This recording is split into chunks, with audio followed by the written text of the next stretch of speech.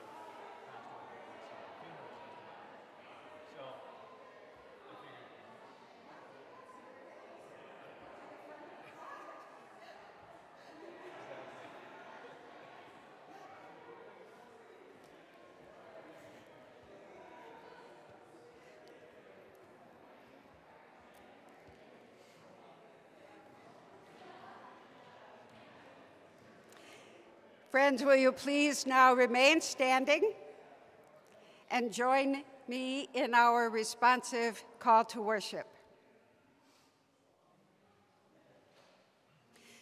The body of Christ is a most beautiful creation.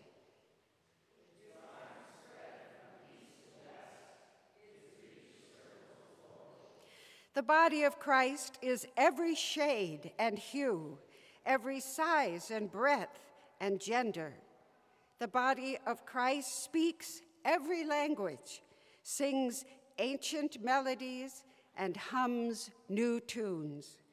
The body of Christ dances and weeps and celebrates and mourns.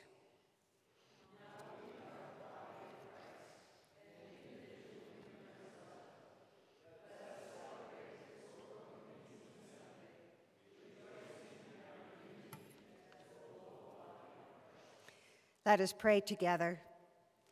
Come to us, blessed Spirit of love and hope, as we worship with people of faith the world around.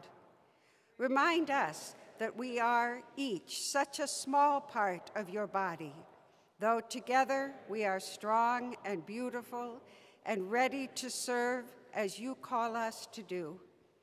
Hear us now in the words Jesus taught his disciples, saying, Our Father, who art in heaven, hallowed be thy name. Thy kingdom come, thy will be done on earth as it is in heaven. Give us this day our daily bread, and forgive us our sins, as we forgive those who sin against us. And lead us not into temptation, but deliver us from evil. For thine is the kingdom, the power, and the glory forever. Amen.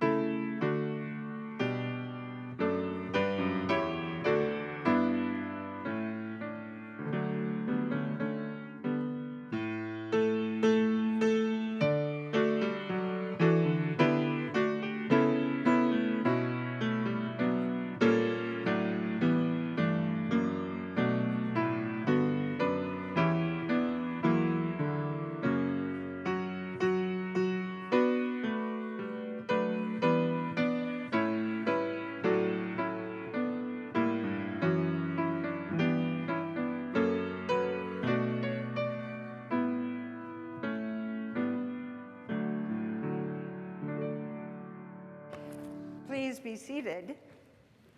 And if there are, if you want to come up for a children's message, you do want to stay where you are?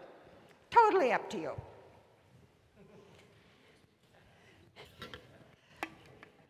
No, pressure. You can sit there, you can see.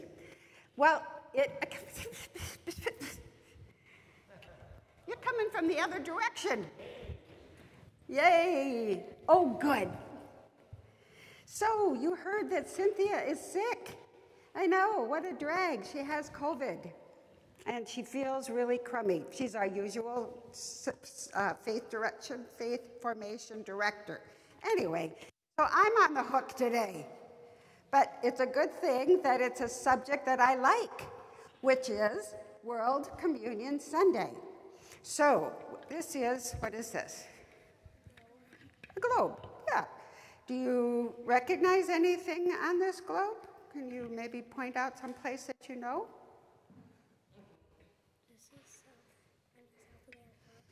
Yeah, that's, yep, South America. And yeah, you're getting close. Minnesota! That's Minnesota. Good. And what's way up here? What's that? Canada. Canada. And I wonder if you know what this whole big area Africa. is. Africa. Did you know that? No, I know. Sometimes it's hard to imagine those places so far away. Down there's Antarctica. Yes, down there's Antarctica. That's exactly right. I know somebody who's been there. Can you imagine all the way to Antarctica? I don't know why, but that's where they went. And let's see, there's some other interesting places. I like this place right here. Do you know what that is? India. India. I like India because that's where my children were born. They were born in India and we adopted them from there. So this is a globe that I keep in my office. Sometimes when I'm feeling kind of overwhelmed by sad things that are happening in other places in the world, I pick up my globe and I hold it close to me like that and I pray. I know that it's something that maybe doesn't help those people in that other place directly, but sometimes I imagine that God wants to pick up the whole world and hold it close and say, please, please be better. Do better. Stop fighting and love each other. I don't know whether God does that or not, but I like to think that maybe that's something that God would do. This morning, when you walked around with these cool flags, whoops, some of them didn't get in there, we go. There are so many, every country, all these different colored countries, all those amazing places, all have flags. We didn't include them all, there are way too many. But this is sort of a representative sample. So, do you know that one? Canada. Canada, exactly. And, and Jamaica. you're really good at flags. Yeah, that's right. Oh, here's an easy one. United States. United States. This morning, when we have communion, oh, and here's one. I like this one too. Do you know that one? Japan? Yep, this, the land of the rising sun. This morning, when we have communion, we're going to be thinking about Christians, even though there are a lot of different religions in all of these countries, people practice very different religions. Even so, we know there are Christians also in all of these countries.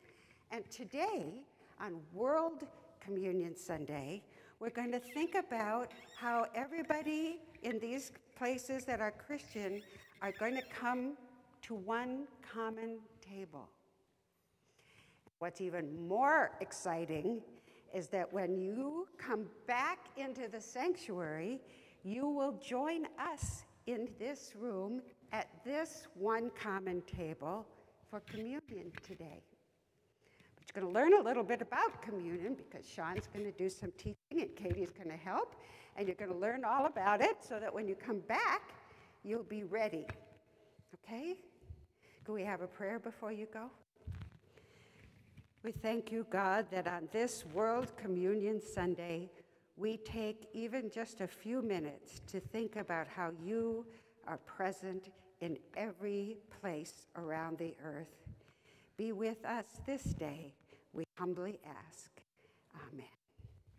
Okay, you're more than to go upstairs for Sunday school, and then you'll come back down for communion if you want to, or you can stay. Up to you.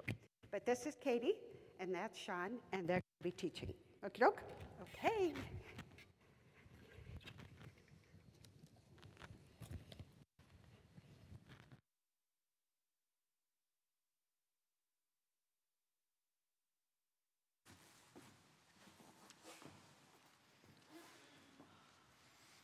A reading from the book of Exodus. From the wilderness of sin, the whole congregation of the Israelites journeyed by stages, journeyed by stages, as the Lord commanded. They camped at Rephidim, but there was no water for the people to drink. The people quarreled with Moses and said, Give us water to drink. Moses said to them, Why do you quarrel with me? Why do you test the Lord? But the people thirsted there for water. And the people complained against Moses and said, Why did you bring us out of Egypt to kill us and our children and our livestock with thirst? So Moses cried out to the Lord, What shall I do for this people? They are almost ready to stone me. The Lord said to Moses, Go on ahead of the people and take some of the elders of Israel with you. Take in your hand the staff with which you struck the Nile and go. I will be standing there in front of you on the rock at Horeb. Struck, strike the rock, and water will come out of it, so that the people may drink. Moses did so in the sight of the elders of Israel. He called the place Massah and Meribah, because the Israelites quarreled and tested the Lord, saying, Is the Lord among us or not?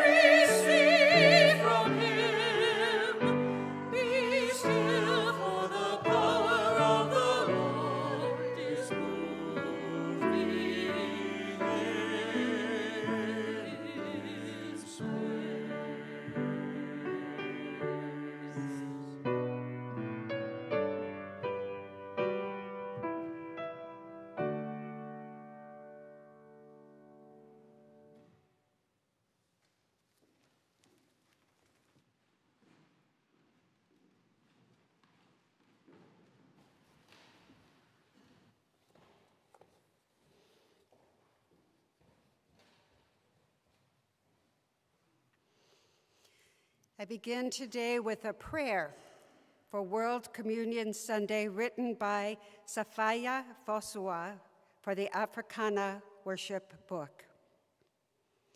Jesus prayed that we might be one, one in spirit, one in mission, in union and communion with each other and with you. Today we confess fumblings and failures in accomplishing unity as we set aside yet another day to remind ourselves of the task. On this World Communion Sunday, give us eyes to recognize your reflection in the eyes of Christians everywhere. Give us a mind to accept and celebrate our differences. Give us a heart big enough to love your children everywhere. We thank you for setting a table with space enough for us all. Amen. It was in 1936 that the Presbyterians here in the United States in an effort to mend the wounds from World War I, created an event that they called World Communion Sunday. The idea caught on, and it expanded until, in just a few short years, in 1940, hoping that recognizing our common Christianity with German Christians there might be a way toward peace. It became then a lasting tradition, though peace remained elusive. After World War II, the National Council of Churches attempted to expand the tradition to an international observation, a way to prevent future war. I like the idea of World Communion Sunday, but as a means to prevent war, well, it has been largely unsuccessful. So, why bother? Of course, we try lots of things that don't end up working. I remember attending a forum addressing childhood poverty during which the presenters were posing one idea after another, all of which cost money, of course. There were short term ideas like the child welfare tax credit, and long term possibilities like free preschool education. Finally, an audience member, clearly frustration in his voice, said, We've tried all those things. They don't work. One of the presenters went on to say, they all worked, just not permanently. I think of that exchange when reading the story from Exodus that Andy just read about the weary and thirsty Israelites who, having been freed from slavery, still complained because the trip was hot and long, and they didn't have water to drink. Why did you bring us out of Egypt just to die of thirst out here in the wilderness, here with our children and our animals? Yeah, yeah, we're no longer slaves, but this isn't working. It must frustrate God that her children expect things to get better on the first and too often only attempt. Yes, we saved some children with the tax credit. It provided good nutrition for children and families, and yes, we provided one generation of children a good head start. Isn't that enough? Why isn't it working? Yes, we called for Christians around the world to actually think of our international common table when we ponder going yet again to war, but it didn't work. So why are we bothering? Yes, we got out of Egypt through some incredible miracles. And yes, we can now raise our children as free beings. But what good does that do if we're just going to die for lack of water? Why did we bother?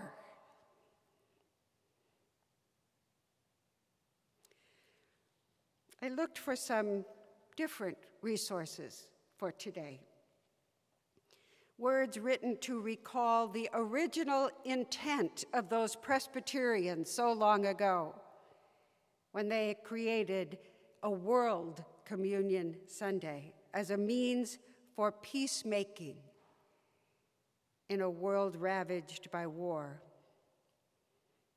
I need to be reminded that the world is very big and complex and conflicted and dangerous and experienced in extremely diverse ways.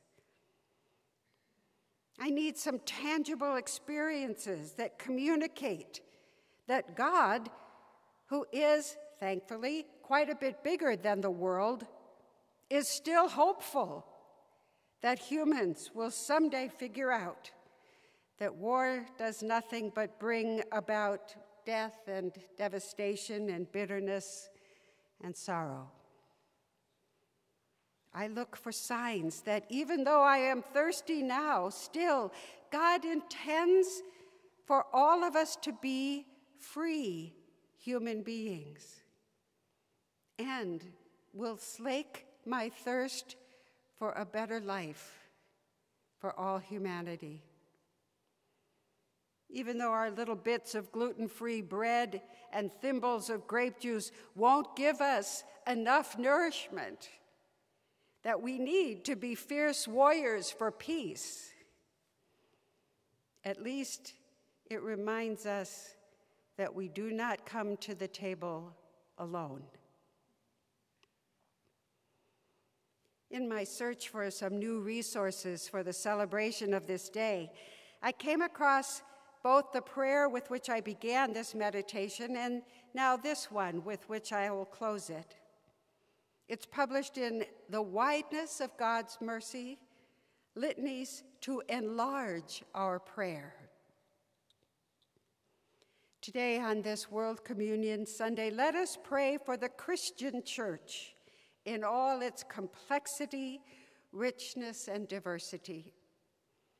For the Roman Catholic Church its glorious traditions, its disciplines of holiness, its worship, rich with the religious passion of the centuries, and its noble company of martyrs, teachers, and saints. For the Eastern Orthodox Church, its secret treasures of mystical experience, its venerable liturgy, its regard for life in community, and its common will as a source for authority. For the Congregationalist concern for the rightful independence of the soul and the wisdom of the group. For the Baptist emphasis on person regeneration and the conscious relation of the mature soul to the Lord for the powerful ability of Methodists to awaken the conscience of Christians to social evils, and for their emphasis upon the witness of experience and the fruits of the disciplined life, for the Presbyterian reverence for the sovereignty of God, and their confidence in God's faithfulness to his covenant, for their sense of the moral law expressing itself in constitutional government. For the Quaker witness to the perpetual real presence of the inner light of every human soul, and for their faithful continuance of a free prophetic ministry and Christian nonviolence. For the Lutheran devotion to the grace of God and the Word of God enshrined in the ministry of word and sacrament. For the Anglican Church, its reverent and temperate ways, through its Catholic heritage and its Protestant conscience, its yearning over the divisions of Christendom, and its longing to be used as a house of reconciliation for the Pentecostal and evangelical free churches, large and small, in slum and suburb and rural isolation, moved by the Spirit to speak the gospel to those unwelcome or uninspired in other places. We thank you, O God, and bless your holy name. Christian unity, the prayer at the beginning, is only genuinely expressed when we respect diversity and keep trying. In 1936, when World Communion Sunday was first conceived, it was no less difficult to imagine a God who loved the entire world and all of its tribal inhabitants than it is today no less difficult and no less needed. And because that is true, that's why we bother. Amen.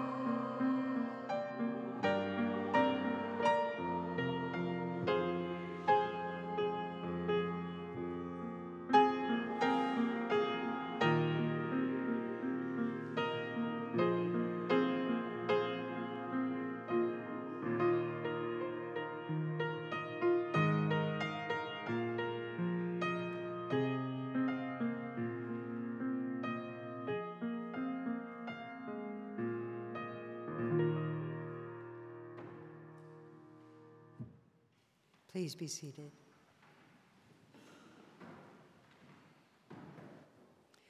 I invite you now to dig deep, be generous as you are able for the work of this church as it carries out its mission not only here in this building, but outside of this building, in this community, and beyond this community, in a world striving for peace.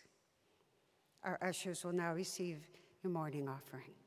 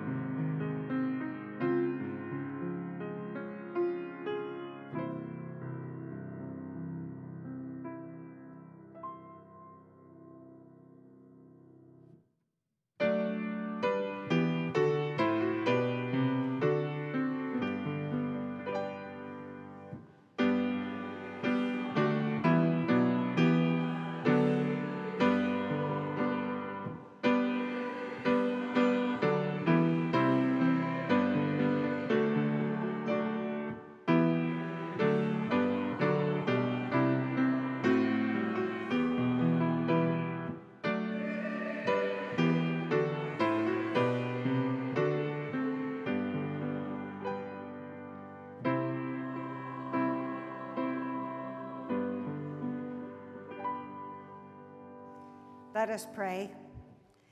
Bless these gifts and those who give them. May they be joined with others for the work you have entrusted to us.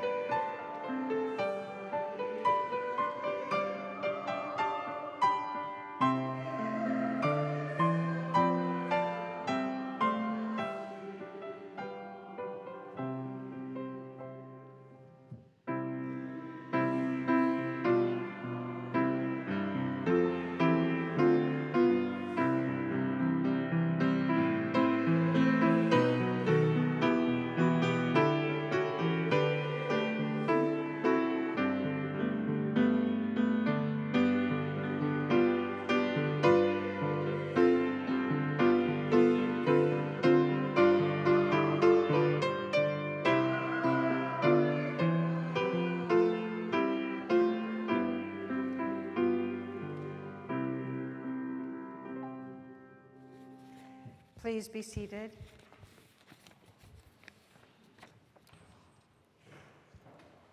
And join me now in the communion liturgy. Beloved, this is the joyful feast of the people of God. On this day, members of Christ's body gather at tables spread with elements that represent many cultures. Words are spoken in languages we know, but also with words that sound strange to our ears. Bread of many kinds is broken at one table. Hopeful people seek unity of spirit. Let us pray. Eternal God, you have called us from the east and west and north and south to celebrate that we too are your people, one in purpose and mission, unified in our common love for all the parts of Christ's body. Forgive us when we act as if this is not true, when we disrespect the differences between cultures and nations, as if what divides us means more than what unites us in you. Open our eyes to see, our ears to hear, and our hearts to love all who you love, in the name of our trusted Savior, Jesus.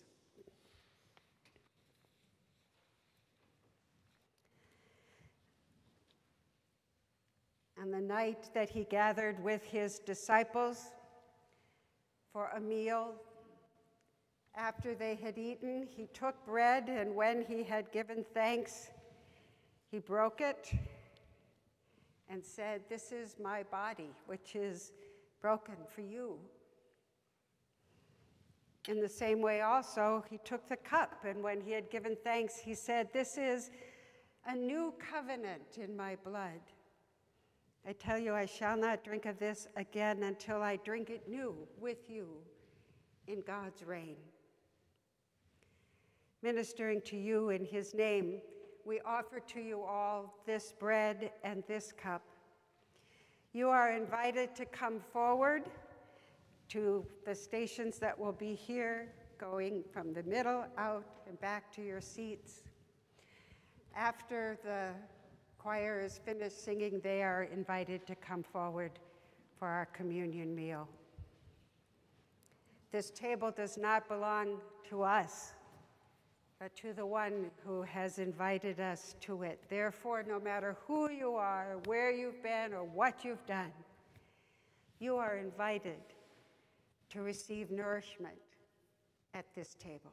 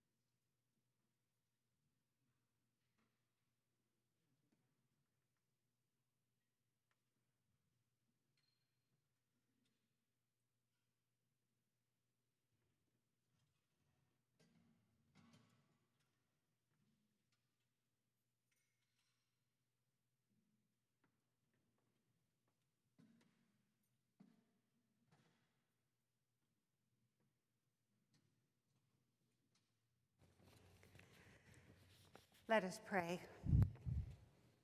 Most gracious God, we give you thanks that you have refreshed us at your table by granting us the presence of the living Christ.